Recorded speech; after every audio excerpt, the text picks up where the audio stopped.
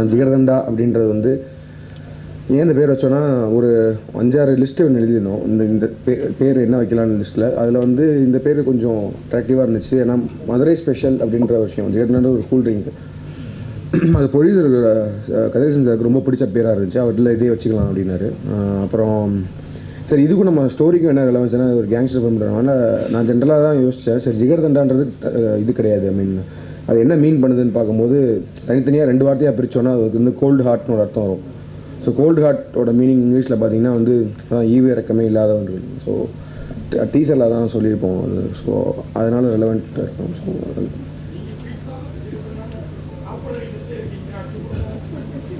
அது அப்படி இல்லை. அது நான் பா அவர்கிட்ட சொன்னேன் நான்.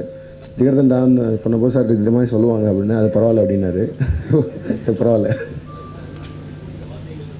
இல்லை அது படத்தில் மியூசிக் ட்ரெய்லரில் வந்து ஏன்னா சவுண்ட் டிசைனுக்கு ரொம்ப இம்பார்ட்டன்ஸ் கொடுத்து பண்ணுற விஷயம் தான் ஸோ இதில் மியூசிக் தான் இருக்குது ஐ மீன் ட்ரெய்லரில் வந்து மியூசிக் ஆரம்பித்து அப்புறம் எஃபெக்ட்ஸுக்கும் ரொம்ப இம்பார்ட்டன்ஸ் இருக்குது எஃபெக்ட்ஸ் பிளான் பண்ணி எஃபெக்ட்ஸ் ஸ்கிரிப்ட் எழுதி சவுண்டு டிசைன் ஸ்கிரிப்ட் எழுதி ஷூட்லாம் பண்ணியிருக்கோம். So sound wise visual audio wise வந்து ஒரு நல்ல எக்ஸ்பீரியன்ஸ் கொடுக்கும் இந்த படம். டிப்ஸ்னால் புரியல. இல்லை இருக்கும் கண்டிப்பாக ஏன்னா அவங்க ஏன்னா- ஒரு அவங்க கேரக்டர் லக்ஷ்மியோட கேரக்டருக்கும் சித்தார்த்துக்கும் கொஞ்சம் நல்ல ஒரு எமோஷனல் சீன்ஸ்லாம் இருக்குது ஸோ அதில் ரெண்டு பேருமே ரொம்ப நல்லா பெர்ஃபார்ம் பண்ணியிருக்காங்க எனக்கே ரொம்ப பிடிச்சிருந்துச்சு. ஸோ லக்ஷ்மி அண்ணன் வந்து அவங்க அப்படிதான். நான் சொன்ன மாதிரி தான் அவங்க வந்து எப்படி அவங்க பண்ணுவாங்கலாம் தோணிருக்கு எப்படி இதை புரிஞ்சுக்குவாங்க? ஏன்னா அவங்களோட மெச்சு ஆனால் வந்து அந்த கதை கேட்கும்போது மெச்சூரிட்டி லெவல் இருக்கட்டும் பெர்ஃபார்மன்ஸ் வைஸ் வந்து ரொம்ப சூப்பராக இருக்கும். கரெக்ஷன்ஸ் மீன் நெச கோ ஸ்டார்ஸ் வந்து பெர்ஃபார்மன்ஸ் வைஸ் வந்து இது வேணாம் அந்த மாதிரி பண்ணிக்கலான்றாங்க அது அவங்க முப்பது வயசு தான் அவங்களுக்கு. அவங்க குரல் எப்படி? இருக்கு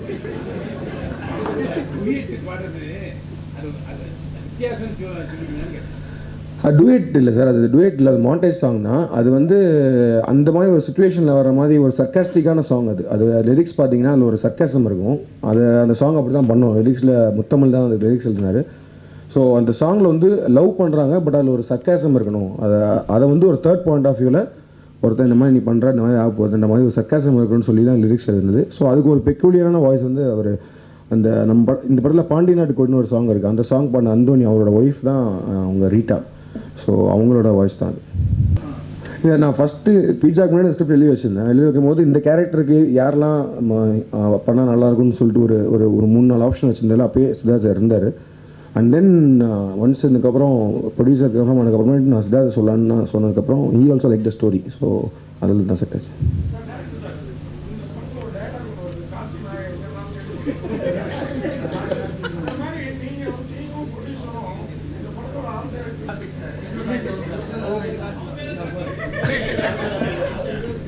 கார்த்தி நாயை கண்டுபிடிச்சு கொள்ளணும் அது என்ன சார்?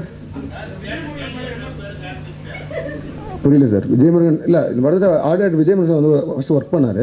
அப்புறம் there is some issues from the production side and இதனால. ஸோ அது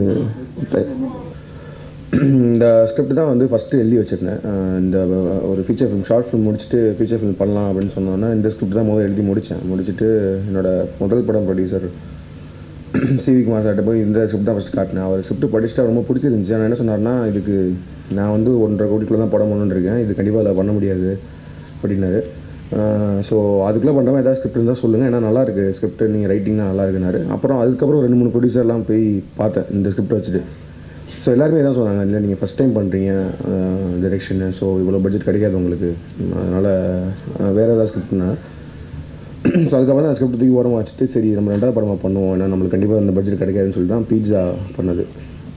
ஸோ பீட்சா முடிஞ்ச உடனே ஆல்ரெடி இந்த ஸ்கிரிப்ட் ரெடியாக இருந்துச்சு ஒரு ஃபார்மில் கொஞ்சம் ரீஒர்க் பண்ணேன் ஸ்கிரிப்டில் பட் ஆனால் பீட்ஸா பார்த்தீங்கன்னா ஒரு ஒரு பவுன் ஸ்கிரிப்ட் ஆல்ரெடி இருந்துச்சு பீட்ஸாக்கு முன்னாடியே. ஸோ வந்து அப்புறம் அஹ், கதிரேசன் சார் வந்து பீட்ஸா ப்ரமோஷன் டேட்டில் வந்து ஒரு வாட்டி மீட் பண்ணோம் அப்புறம் சொல்லியிருந்தார் நீங்கள் முடிஞ்சோடனே சொல்லுங்கள் அப்படின்னு.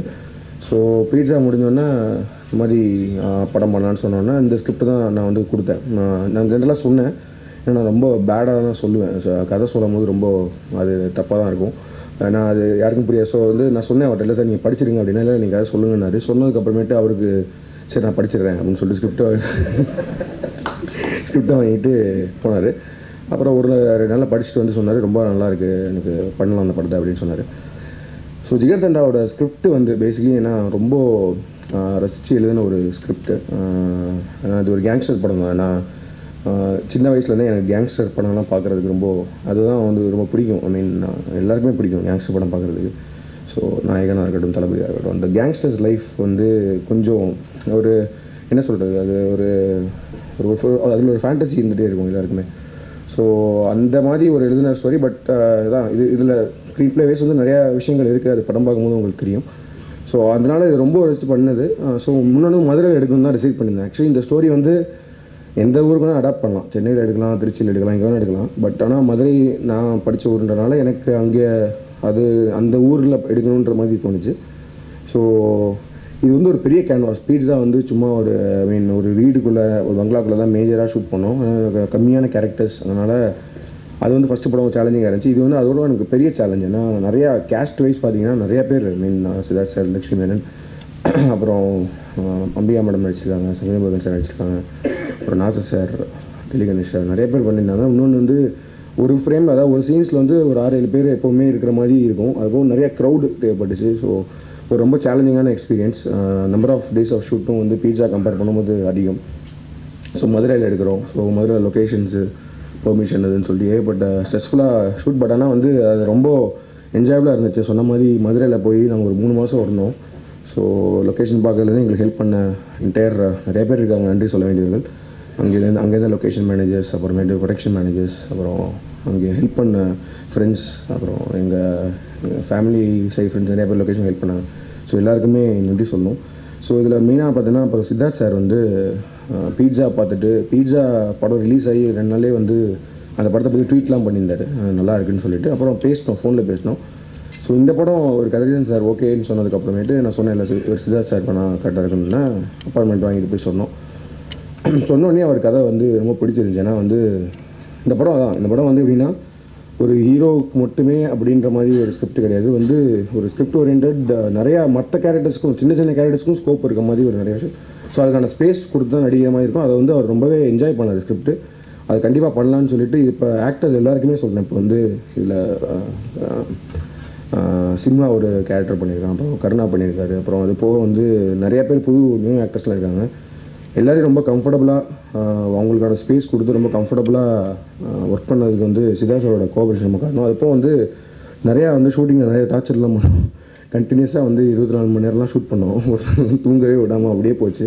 ஆனால் அது எல்லாத்துலேயுமே அவங்களோட கோஆப்ரேஷன் எல்லா ஆக்டர்ஸுமே சொல்கிறேன் so thanks to my actors and அவங்க லக்ஷ்மி மேனன் அதே மாதிரி தான் லக்ஷ்மி மேனன் வந்து uh, அது முன்னாடி லைக் uh, ப்ரீவியஸ் படங்கள்லாம் வரும்போது அவங்க uh, லெவன்த்து டென்த்து தான் படிக்கிறாங்கலாம் சொன்னாங்க. நான் அப்போ நம்பலை. அப்புறம் ஷூட்டிங் பண்ண பார்த்தா நம்பினேன் ஏன்னா அவங்க வந்து ஏதாவது ஃபோனில் டெம்பிள் ரன்லாம் விளாண்டுருப்பாங்க அப்புறம் சீன் சொன்னோன்னா ஆனால் எனக்கு ஃபஸ்ட்டு வந்தோன்னா லைட்டாக டவுட் இருந்துச்சு. எப்படி ஏன்னா பெர்ஃபார்மன்ஸ் ஏற்கனவே பார்த்துருக்கோம். எப்படி உங்களுக்கு எக்ஸ்பிளைன் பட் ஆனால் வந்து very good act I mean ஆக்டிங்கில் வந்து ஷீஸ் வெரி வெரி குட் ஏன்னா என்ன ஒரு ஏன்னா அவங்க லெவன்த் தான் அப்படின்றப்போ அந்த மெச்சூரிட்டி லெவல் வந்து அந்த சீன்ஸை வந்து ஈஸியாக புரிஞ்சுட்டு whatever we need and she will deliver it on the go so ரெண்டு பேருமே I mean Siddharth sir and Lakshmi combination வர சீன்ஸ் எல்லாமே சில கொஞ்சம் எமோஷனல் சீன்ஸ் எல்லாமே ரெண்டு பேருமே சூப்பராக பண்ணாங்க. அது ரொம்ப பிடிச்சிருந்துச்சு. அது போக வந்து அடுத்த வர கேஸ்டிங்கில் வந்து இவர் சிம்மா ஸோ இந்த படம்லாம் ரொம்ப டார்ச்சர் பண்ணது வந்து பாபியாக தான் சிம்மாவாக தான் இருக்கும். ஏன்னா கேரக்டர் இவர் தான் பண்ண போகிறோம் ஏன்னா இந்த கேரக்டருக்கு ஆக்சுவலி நிறைய ஆப்ஷன்ஸ் நிறைய பேசியிருக்கோம். நிறைய பேரை பண்ண வைக்கலாம்னு சொல்லிட்டு இருந்தது. லாஸ்ட்டாக வந்து சரி இவர் பாபி சிம்மா வச்சு பண்ணலாம். அப்படின்னு பாபினே கூப்பிடுறேன் பாபி வச்சு பண்ணலாம் அப்படின்னு சொல்லிட்டு பண்ணதுக்கப்புறம் சரி கெட்டப் மாற்றணும் இது பண்ணணும் நிறைய ஆடி வருதுன்னு சொல்லிட்டு ஸோ ஸ்கின் டோன்லாம் கொஞ்சம் இதாகும்னு சொல்லி நிறையா மதுரையில் போய் இருக்க வச்சோம். அப்புறமேட்டு எங்கள் டீம் டைரக்ஷன் டீம்கிட்ட சொல்லிட்டேன் நான். இப்போ நான் வந்து பார்த்துக்கோங்க இப்படி பண்ணணும் இவங்க வந்து உடம்பு கொஞ்சம் இது பண்ணணும் கொஞ்சம் டார்க் ஸ்கின் வரணும் அப்படின்னு சொல்லிட்டு ஸோ அவங்க கரெக்டாக வந்து போய் அஹ், வெயிலெல்லாம் உட்காரலாம் வச்சோம். ஆனால் எதுவும் ஒர்க் அவுட் ஆகல கடைசியில் அவன் வெயிட் தான் அடித்தோம் ஆனால் பெர்ஃபார்மன்ஸ் வைஸ் வந்து ரொம்ப சூப்பராக பண்ணியிருக்கான் அப்புறம் கருணா. ஸோ கருணா வந்து எப்படின்னா கருணா வந்து செட்டில் இருந்தாருனாலே வந்து டென்ஷன்லாம் நம்மளுக்கு என்னதான் இருந்தாலும் வந்து ஒரு செகண்டில் வந்து ஒரு கூலாயிரும் அவர் ரொம்ப ஒரு ஃப்ரெண்ட்ஸ் கூட ஒர்க் பண்ணுற மாதிரி தான் என்டையர் டீம் இதுவே இருந்துச்சு. இதுபோல் அந்த படத்தில் புது ஆக்டர்ஸ் நிறைய பேர் வந்து பண்ணியிருக்காங்க. மதுரையிலேருந்து சில பேர் ஆடிஷன் பண்ணி எடுத்தோம். ஸோ அவங்க எல்லாருமே ரொம்ப நல்லா பண்ணியிருக்காங்க. அவங்க பெர்ஃபார்மன்ஸும் கண்டிப்பாக பேசப்படும். அண்ட் தென் இதுதான் இது பெர்ஃபார்மன்ஸ் ஓரியன்ட் ஸ்கிரிப்ட் தான். கண்டிப்பாக வந்து என்ன தான் டெக்னிக்கல் விஷயங்கள் இருந்தாலும் அட்லாஸ் ஆக்டரோட பெர்ஃபார்மன்ஸ் தான் இந்த படத்தை நிப்பாட்ட போகுது.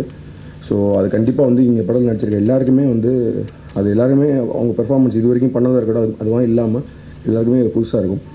And then coming to the next thing technical team so இதோட சினிமாட்டோகிராஃபர் வந்து கேமிக் கேமிக் வந்து அதான் ஹிந்தியில் ஒரு படம் பண்ணியிருந்தாரு. அந்த படத்தோட ஒரு வாட்டி நடுவில் மீட் பண்ணேன். அப்புறம் இந்த படத்துக்கு பண்ணோன்னா அவர் கேட்டப்போ இமீடியட்லி கேம் அவர் வந்து இந்த படத்துக்கு கிடைச்ச ஒரு பெரிய மிகப்பெரிய ஸ்ட்ரென்த் மிகப்பெரிய கிஃப்ட் ஏன்னா வந்து டைரக்டர் சந்தோஷ்.